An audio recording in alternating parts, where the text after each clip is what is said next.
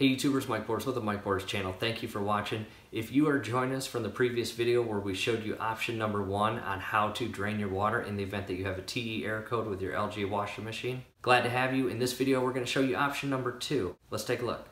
At the washing machine now, and the first thing you want to do is verify that the entire machine is in the off position or setting, and verify that the unit is still plugged into the outlet. Now let's go to the home electrical panel and trip the circuit breaker at the home electrical panel. Go ahead and open it up.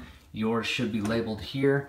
As we can see, number 23 is washer, and they will be etched on the side here. Here is number 23. Let's shift this breaker to the off position. And we want to let that breaker sit in the off position for 30 seconds. After 30 seconds is up, let's turn this circuit breaker back on to the on position. Back to the washing machine, again, it's still plugged in because you never unplugged it. At this point, go ahead and select the power button.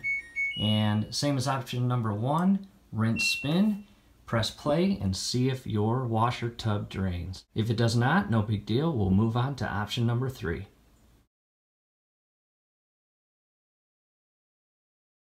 Do us a favor below the video, you will see that thumbs up icon. Click on that, like the video, subscribe to the channel. Definitely go to your settings, turn on your YouTube notification bell. Once you do that, every video that we upload, you will be notified. You will be able to stay up to date with us, and that will be awesome. Thanks again.